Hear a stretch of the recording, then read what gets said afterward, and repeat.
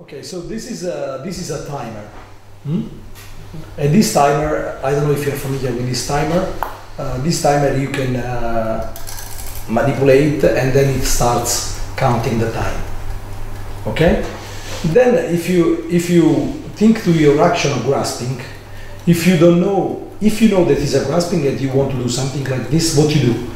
You create a grasp like this. So you do a fingertip grasp, okay, like this, for the upper part of uh, the pomodoro, and then you create your action after, okay? So, but this is very important, you know, this is a fingertip grasp.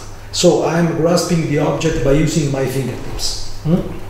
And this is one kind of uh, important grasp. It's called fingertip grasps. And is typically used by humans and robots when you want to manipulate an object. Indeed, I want to manipulate the object because I want to create this kind of rotation. If you want to just move this uh, tomato from one point to another, probably what you do, what will be your grasp? Your grasp will be probably something like this. You will use your whole hand, not the fingertip, because the fingertip is much more complex for your brain to control. So you will do something like this. You will grasp and you will move on the other side. Okay? This is a, a big difference in uh, manipulation. So it's called fingertip grasp when you know what you want to do in terms of manipulation, or if you just want to move the object from one point to another, you just use the power grasp. Okay? Now, let's focus on this difference. What's the big difference between power grasps and uh, fingertip grasps? Power grasps means that the object becomes one single body with my hand. Okay? So it's fixed, cannot move with respect to the palm. But my, my brain is really sure that wherever I move the palm, the object stay with it. Okay? So I, I don't have to model in my brain the dynamics of the object because the object is attached to my palm and uh, as soon as, move, as I move my hand, it becomes a single object, the hand with uh, the object, and I don't care about the motion of the object with respect to the palm, but they care about the motion of my arm, which is much easier. Okay, I don't need an extra model in my brain to control the object.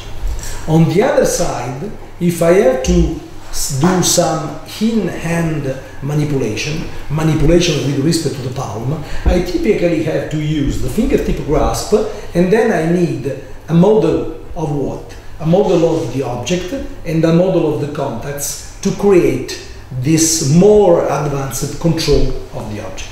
Okay? So, just to summarize, these are the important concepts. In grasping, we have two basic uh, grasping uh, modality. One is power grasp, which is really easier for robots, robotic hands, or for human hands. You just want to move one object from another, okay, without allowing any in-hand manipulation, in-hand motion, or fingertip grasp.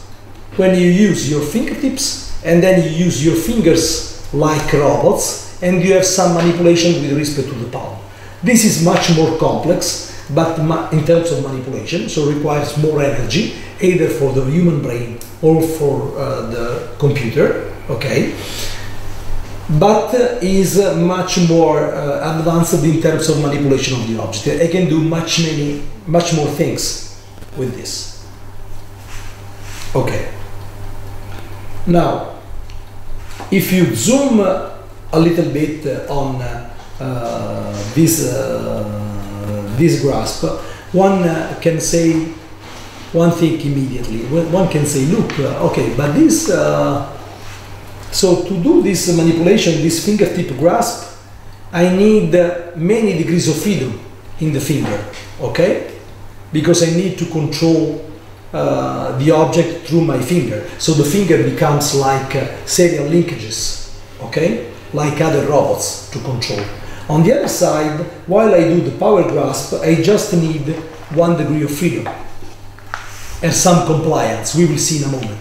So what I want to say is that there are grippers or robotic hands which very, with very few degrees of freedom that are designed to do power grasp. Okay? There are hands that just open and close like this, and they are designed to do the power grasp of the object. Okay? While there are more advanced hands, like human hand, that has a lot of degrees of freedom and can play with the object by using the fingertips. Okay? This is